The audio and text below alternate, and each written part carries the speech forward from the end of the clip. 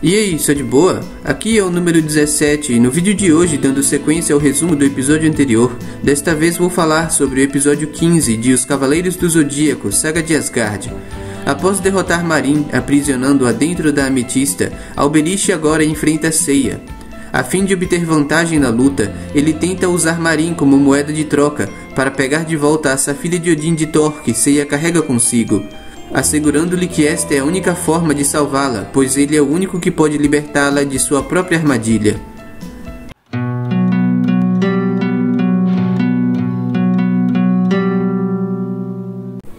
Seiya hesita em prosseguir seu ataque contra Alberich, preocupado com a vida de Marin, que está presa dentro da ametista, de onde, segundo Alberich, não tem liberdade para sequer escolher a própria morte, até que toda sua energia seja sugada.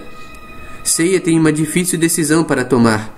Ele precisa derrotar seu inimigo para obter a Safira de Odin, mas isso significaria abandonar sua mestra, que cuidou dele e lhe ensinou tudo o que sabe. Ela é uma pessoa importantíssima a quem ele deve tanto. Tudo que ele é e se tornou foi graças a ela. Mas como um cavaleiro, sua prioridade é salvar Atena. Enquanto isso, Alberich o pressiona, pedindo a Safira de Odin de Thor que Seiya carrega consigo prometendo que se lhe entregar, libertará Marin. Por fim, optando por atacar seu inimigo, que não esperava por esta reação, é pego pelo golpe Meteoro de Pégaso.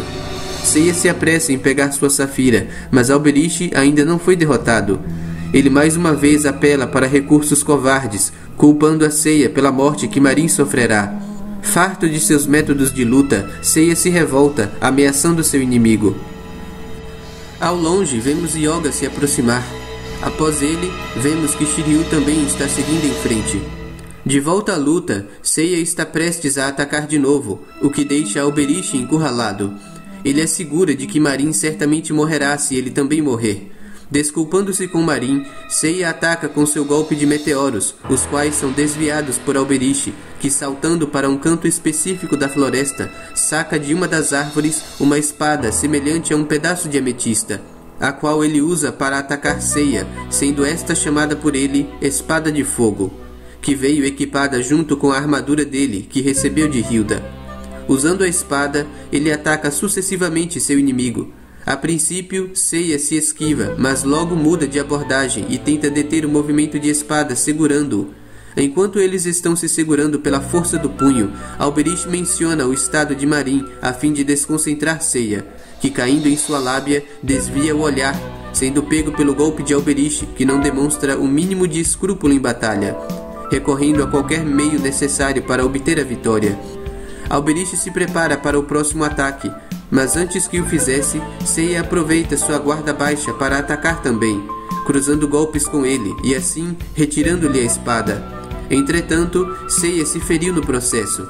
Se aproximando dele, sem a espada, Alberich recorre a outro método e ataca com a couraça ametista, prendendo, assim como fez com Marin.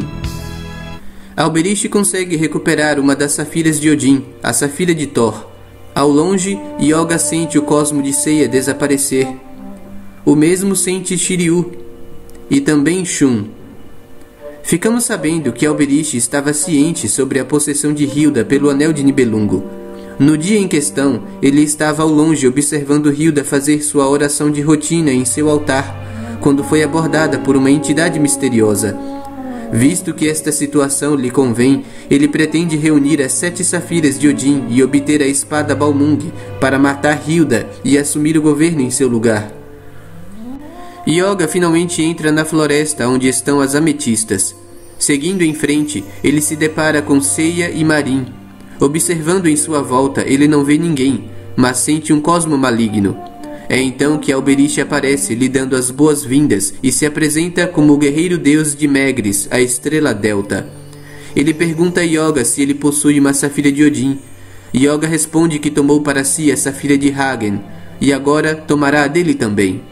Yoga eleva seu cosmo afirmando que vencerá e libertará Seiya e Marin Alberich também eleva seu cosmo, afirmando que seu túmulo será aqui, ao lado deles. Alberich dá início à luta atacando com a espada de fogo, cujos golpes são problemáticos de lidar. Yoga imagina que se puder apagar as chamas, esta será apenas uma espada normal. Ele então decide atacar com o pó de diamante. Como esperado, Alberish usa a espada para se defender deste ataque. Como consequência, a mesma foi congelada. Pensando que havia se livrado deste empecilho, inutilizando a eficácia da espada, Yoga comenta que não tornará mais a usar a espada. Todavia, para sua surpresa, a espada é mais resistente do que ele esperava e suas chamas acendem novamente, desfazendo a camada de gelo acumulada sobre ela. Alberish volta a atacar com a espada, mantendo curta distância entre eles. Yoga apenas se desvia de seus golpes e, numa tentativa de imobilizá-lo, tenta congelar seus pés, restringindo sua livre liberdade de movimento. Ao fazer isso, ele teve contato direto com seu inimigo, numa posição muito desfavorável para si, e Alberish aproveita para executar um ataque direto que o atingiu em cheio. Apesar da técnica de gelo ter sido bem aplicada, não houve tempo suficiente para se esquivar ou defender de um contra-ataque.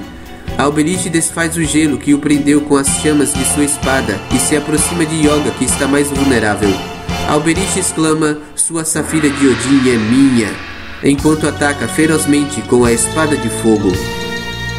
Bem, esse foi o vídeo de hoje, espero que tenham gostado. Se gostou, deixe seu like. Se quiser ver mais do meu conteúdo, se inscreva no canal, ative o sininho para receber uma notificação sempre que um vídeo novo for postado e fique à vontade para comentar na seção de comentários abaixo. Até a próxima. Falou!